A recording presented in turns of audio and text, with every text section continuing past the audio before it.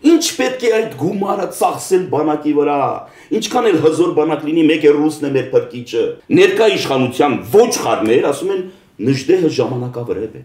Աշխարհը մեզ չի հասկանում։ Ինչ իմաստ ունի այդ դիրքը, այդպես մատուրի վերածած, եթե դու պիտի գցես եւ ասես դրուկ իզվենի եւ ձերքերդ բարձր։ Ո՞վ է, ինչ դրուկ, ինչի մասին է խոսքը։ Գերիներին պահանջել, վերջացնել, գերիների հարցը լուծել, նոր տալ Աղդամի, Քելբաջարի, Լաչինի եւ Զանգիլանի այս 4 շրջանը արհավիրք։ Ոնց կարելի է նման բան անել։ Եվ սա ինչ է։ Մենք բանակի 30-ամյակ ենք նշում, ոչ մեկը չի շնորհավորում։ Վախենում եք, պարոն Այկ։ Ալիևը կջղայնանար,